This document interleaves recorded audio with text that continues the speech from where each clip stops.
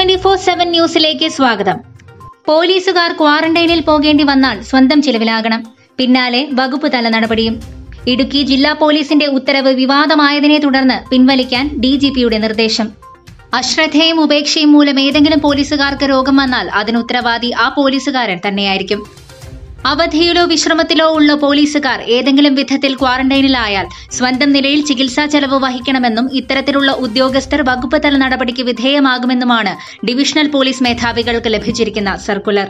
വ്യാപാര സ്ഥാപനങ്ങളിൽ പോകുന്നത് ഒഴിവാക്കി ഓൺലൈൻ വഴി സാധനങ്ങൾ വാങ്ങണം. ഇത്തരത്തിൽ മറ്റുള്ളവരെ പ്രോത്സാഹിപ്പിക്കുകയും വേണമെന്നുള്ള അതത് ഡിവിഷണൽ മേധാവികളുടെ സർക്കുലറും ഇതിന്റെ കൂടെ വന്നിട്ടുണ്ട്.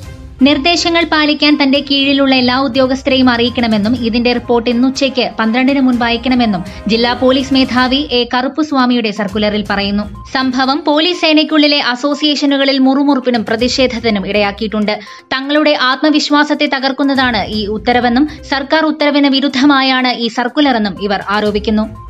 രാവും പകലും നോക്കാതെ വെയിലും മഴയും നോക്കാതെ ഊണും ഉറക്കവുമില്ലാതെ സമൂഹത്തിന്റെ സുരക്ഷയ്ക്ക് വേണ്ടി അധ്വാനിക്കുന്ന പോലീസുകാർക്കാണ് ഇത്തരം കണ്ണിൽ ചോരയില്ലാത്ത സർക്കുലർ നൽകുന്നതെന്നോർക്കുമ്പോൾ കേരള മനസാക്ഷിക്ക് തന്നെ ഞെട്ടലുളവാക്കുന്നു ആർക്കു വേണമെങ്കിലും എങ്ങനെയും എപ്പോഴും രോഗം വരാമെന്ന സമൂഹ വ്യാപനത്തിലേക്ക് മഹാമാരിയായ കോവിഡ് പത്തൊൻപത് എത്തി നിൽക്കുന്നു.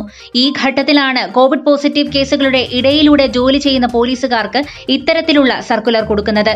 ഡ്യൂട്ടിയിൽ നിയോഗിക്കുന്ന ഉദ്യോഗസ്ഥന്മാർ തന്നെയാണ് ഇത്തരം സർക്കുലർ കൊടുക്കുവാൻ നിർബന്ധിതരാകുന്നതും. എന്നാൽ കോവിഡ് പത്തൊൻപത് പ്രതിരോധ പ്രവർത്തനങ്ങളുടെ ഭാഗമായുള്ള ഡ്യൂട്ടികളിൽ ഏർപ്പെട്ടിരിക്കുന്ന പോലീസ് ഉദ്യോഗസ്ഥരുടെ സുരക്ഷ ഉറപ്പാക്കുമെന്ന് പത്തനംതിട്ട ജില്ലാ പോലീസ് മേധാവി കെ ജി സൈമൺ പറഞ്ഞു. ഡ്യൂട്ടിയിലുള്ള എല്ലാ പോലീസ് ഉദ്യോഗസ്ഥരും കോവിഡ് പ്രോട്ടോകോൾ അനുസരിച്ചുള്ള മാനദണ്ഡങ്ങളും നിബന്ധനകളും നിർബന്ധമായും പാലിക്കണമെന്നും കർശന നിർദ്ദേശം നൽകിയിട്ടുണ്ട്. ഏതെങ്കിലും സാഹചര്യങ്ങളിൽ രോഗബാധയുണ്ടാകുന്നവരെ ക്വാറന്റീനിൽ പ്രവേശിപ്പിക്കുന്നതിന് നടപടികൾ സ്വീകരിച്ചിട്ടുമുണ്ട്.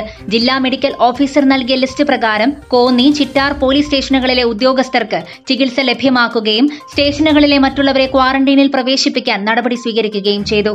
കോവിഡ് പ്രാഥമിക രണ്ടാം ഘട്ട സമ്പർക്കത്തിൽ വരുന്ന പോലീസ് ഉദ്യോഗസ്ഥരുടെ ക്ഷേമകാര്യങ്ങൾക്കായി സംസ്ഥാന പോലീസ് മേധാവിയുടെ നിർദ്ദേശാനുസരണം ജില്ലാതല കമ്മിറ്റി രൂപീകരിച്ചതായി ജില്ലാ പോലീസ് മേധാവി പറഞ്ഞു. വലിയ തോതിലുള്ള പ്രതിഷേധം ഉയർത്തിയ സാഹചര്യത്തിൽ ഉത്തരവ് പിൻവലിക്കാൻ ഡി നിർദ്ദേശം നൽകി. ന്യൂസ് ഡെസ്ക് നീതി ട്വന്റി